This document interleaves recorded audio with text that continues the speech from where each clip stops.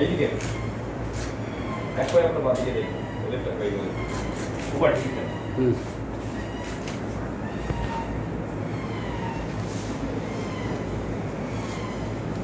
এদিকে রাখ, এদিকে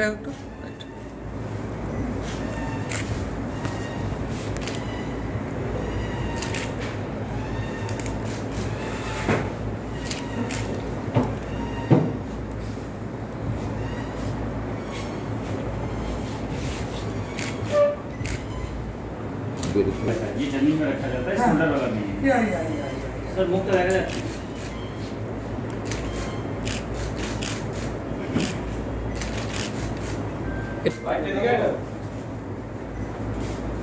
ये प्रोजेक्ट रखता है विप्लव का एस2 की दोनों करता है विप्लव का केजी का देखो तो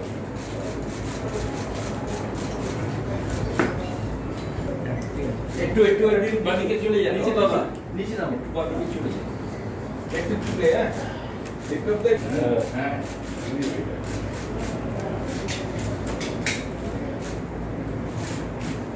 হ্যাঁ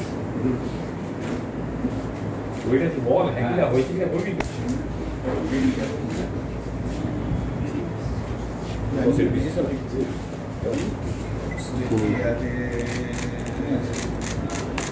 আরে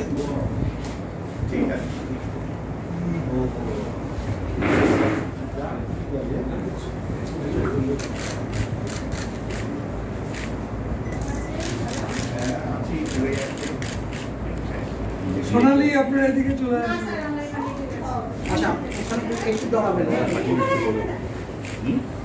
মনি চলে আস বসে গিয়ে যারা আমাকে একটু বসতে হবে আমি সোজা ঘুম হচ্ছে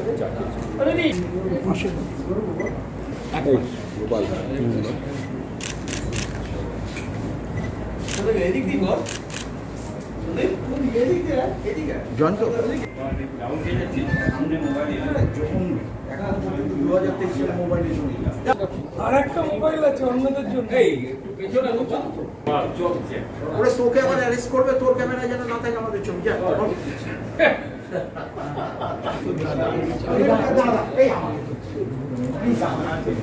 তুমি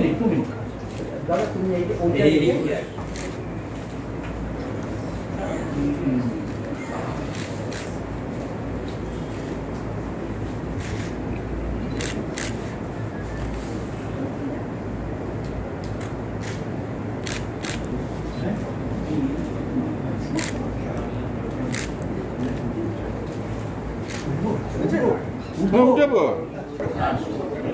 আমরা যখন স্টেট জুডিশিয়াল মিউজিয়াম এবং রিসার্চ সেন্টারের কাজ শুরু করলাম, তখন আমার মনে হলো যে Indo Pakistan war seventy one, যা পশ্চিমবঙ্গকে বেস করে হয়েছে, কারণ পশ্চিমবঙ্গের সঙ্গে সবচেয়ে বেশি বাংলাদেশ তখনকার সময় পূর্ব পাকিস্তানের বর্ডার শেয়ারিং ছিল।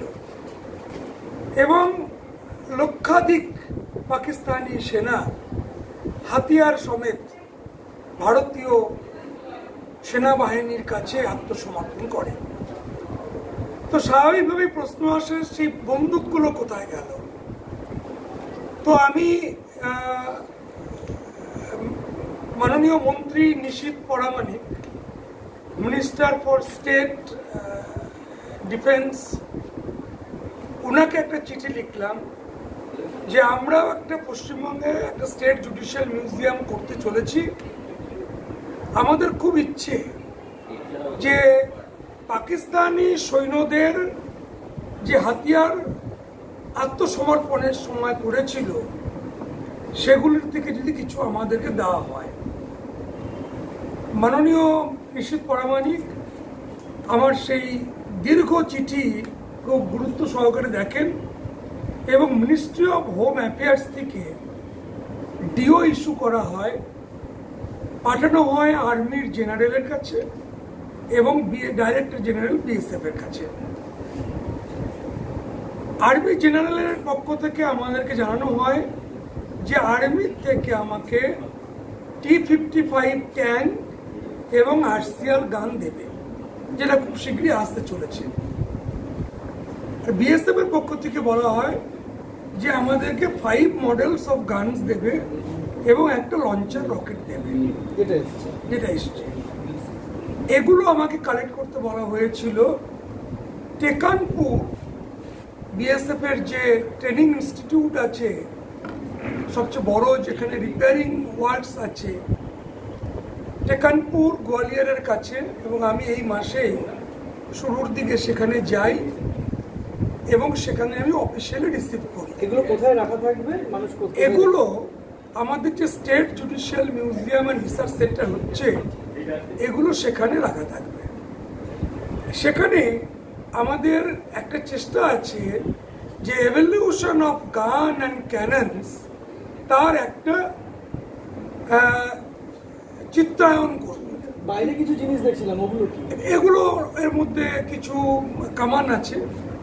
এগুলো সমস্ত আমাদের নতুন নতুন যে মিউজিয়াম সেখানে এগুলো চলে যাবে খুব শীঘ্রই?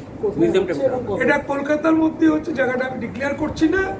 ডিসেম্বরের ফার্স্ট উইক কিংবা সেকেন্ড উইকের মধ্যে মিউজিয়ামের দুটো সেকশন অ্যাটলিস্ট আমরা জনগণের সঙ্গে জন্য খুলে দেবো। সেখানে কি আগ্নেয়াস্ত্রই থাকবে? না এই দুটো সেকশনের মধ্যে থাকবে হচ্ছে বিভিন্ন ধরনের মূর্তি। বিশেষ করে বুদ্ধ থেকে শুরু করে বুদ্ধ মূর্তির বিভিন্ন রূপ প্রাচীনতম, বিভিন্ন রূপ, তার সঙ্গে পাঁচটা ডাইনাস্টি, কুষাণ, শুঙ্গ সেন, গুপ্ত এবং পালা। এই ডাইনাস্টি, তার সঙ্গে কিছু মডার্ন কিছু মূর্তি, যেগুলো মিডিয়েবল পিরিয়ডে সেই মূর্তিগুলোর একটা সেকশনস থাকবে আর একটা সেকশনসে গান ক্যানন্স এগুলো থাকবে। আর আরেকটা প্রচেষ্টা আমরা চালাচ্ছি। আশা করি এটাতে সফল হব যে বিশ্ব বরেণ্য নেতাজি সুভাষচন্দ্র বোসের আজাদিন বাহিনী, এদের কোহিমায় যুদ্ধ হয়েছিল। এবং কোহিমার যুদ্ধে যেসব আজাদিন বাহিনীর সৈন্যরা ছিলেন, গ্রেপ্তার হয়েছিলেন, তাদেরও হাতিয়ার সেন্ট্রাল গভর্নমেন্টের কাছে আছে এবং আমরা চিঠি লিখেছি। আমি আজকে চিঠি লিখলাম যাতে আজাদিন বাহিনীর কিছু হাতিয়ার আমরা পাই, কারণ নেতাজি সুভাষচন্দ্র বসু সারা পৃথিবী তার পৃথিবীতে বরেণ্য হলেও তিনি কলকাতার মানুষ। আর কলকাতার মিউজিয়ামে আজাদিন বাহিনীর হাতিয়ার থাকবে না। তাহলে একটা অসম্পূর্ণ মনে হয়। তো দেখা যাক কি হয়। Biplab Roy administrator general and official trustee of West Bengal দেও সে একই জিনিস ছিল।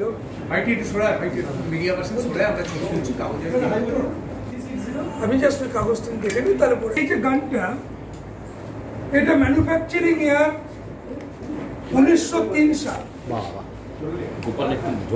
এর range hundred to three hundred years এই গানটা ম্যানুফ্যাকচার রেমিংটন গান। ঢুকে যাচ্ছে দাদা একটু ওই কাটুন। Foreign gun. জাস্ট এক মিনিট স্মিথ বুঝছ না নাকি ফরেন কোম্পানি সিরিয়াস ওয়ার্কটা rifle musket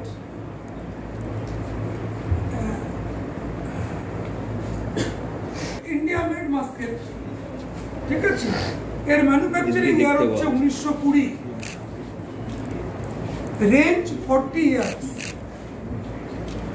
এটা ম্যানুয়ালি নট অটো গান এটা ইন্ডিয়া মেড তো উনিশশো কুড়ি সাল ন্যাচারালি তারপরে দেশভাগ হয়েছে, পাকিস্তানের কাছেও ছিল যুদ্ধে ব্যবহার হয়েছে।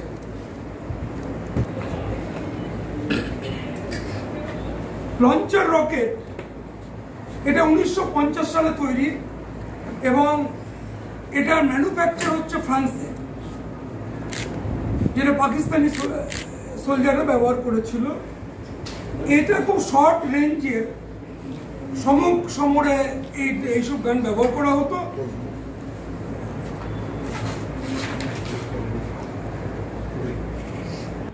সিঙ্গেল ব্যারেল গান। তো এটা ইন্ডিয়া ইন্ডিয়া মেড ঠিক আছে?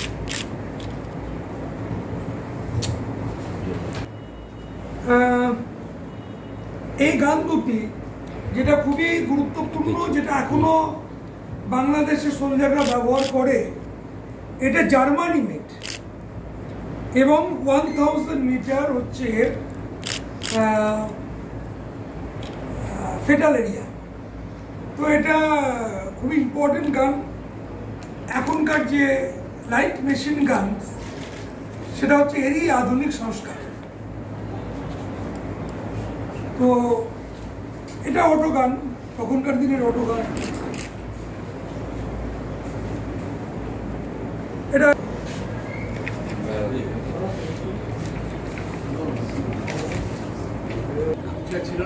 এটা শুধু হ্যাঁ। এই মিউজিয়ামে কি সকলের জন্যই তো প্রবেশ থাকবে? এই মিউজিয়াম সকলের জন্যই উন্মুক্ত তবে একটা বিশেষ কেয়ার নেওয়া হচ্ছে বয়স্ক মানুষ এবং যারা শারীরিকভাবে প্রতিবন্ধী তাদের কথা মাথায় রেখে এই মিউজিয়ামকে আমরা অনলাইন অ্যাক্সেস রাখব, যাতে মানুষ ঘরে বসে, বয়স্করা এবং শারীরিক প্রতিবন্ধীরা ঘরে বসে মিউজিয়ামকে দেখতে পারে সম্পূর্ণরূপে। তার একটা অ্যাক্সেস থাকবে। এখন তো আপনারা জানেন যে কোনো বারকোডকে ইউজ করে এটা যায়। দুই, সমস্ত ভারতবাসীর সমস্ত বিশ্ববাসীর জন্য এই মিউজিয়ামটা একটা আন্তর্জাতিক মানের মিউজিয়াম হচ্ছে, যাতে পঁচিশটা সেকশন থাকবে এবং তার সঙ্গে গবেষণার বিষয় থাকবে। গবেষণার সমস্ত বিষয়ের উপরে, আর্মস থেকে শুরু করে এভলিউশন অফ আর্মস থেকে শুরু করে, আইনের সঙ্গে ধর্মের যোগ কি, প্রাচীন পাণ্ডুলিপির থেকে কীভাবে আজকের দিনের আইন আমাদের সমাজে এসছে, এই সমস্ত কিছুই বা সংবিধানের যেটা মূল ভাবনা, যা প্রিয়াম্বলা বলা আছে, তার সঙ্গে কি কোথাও ধর্মশাস্ত্রগুলির মিল আছে? এই সমস্তগুলোর একটা রিসার্চের কেন্দ্র গড়ে উঠবে। মিউজিয়ামের কি এন্ট্রি ফি হবে, কি হবে না, এটা জুডিশিয়াল ডিপার্টমেন্ট ঠিক করবে। কিন্তু আমি মনে করি যে মিউজিয়ামকে সুন্দর এবং যুগোপযোগী করার জন্য সমস্ত দায়টাই সরকারের উপরে ঠেলে দেওয়া উচিত নয়। মানুষ যখন বিভিন্ন অনুষ্ঠানে টিকিট কেটে যেতে পারে, বিভিন্ন মন্দিরে পুজো দিতে গেলে টিকিট কেটে যেতে পারে, তাহলে মিউজিয়ামের আমার ব্যক্তিগত মত একটা এন্ট্রি ফি হওয়া উচিত এবং সেখানে ছাত্রদের জন্য একটা কম মূল্যের এন্ট্রি ফি আর বাকিদের জন্য একটা ফরেনার্সদের জন্য একটা। এই সেগ্রিগেশনে ভাগ করলে পরে আমার মনে হয় রাজ্যের প্রতি যে আর্থিক ভার সেটা হবে না এবং মিউজিয়ামের ডে টু ডে মেনটেনেন্সের ক্ষেত্রে সহায়ক হবে। জনগণের উদ্দেশ্যে কি বলবে? তারা কি করবে মিউজিয়ামটার মধ্যে? জনগণের উদ্দেশ্যে একটাই বলব অ্যান্টিক অবজেক্ট অর্থাৎ যে বস্তুগুলো একশো বছরের ঊর্ধ্বে, সেগুলো সংরক্ষণ করা প্রত্যেকের মৌলিক অধিকার। কোনো পাথরের মূর্তি মাটির নিচে পাওয়া গেল মানেই মা প্রকট হলো আর তাকে আলতা সিঁদুর দিয়ে রং মাখিয়ে পুজো করা নয়, সেইটাকে রক্ষা করা। তার জন্য প্রত্যেককে সচেষ্ট ভূমিকা নিতে হবে। আর যাদের কাছে অ্যান্টিক জিনিস আছে, পুঁথি আছে, যদি কেউ মনে করে, তারা আমাদের কাছে দিতে পারে, আমরা সাগ্রহে সেটা গ্রহণ করব।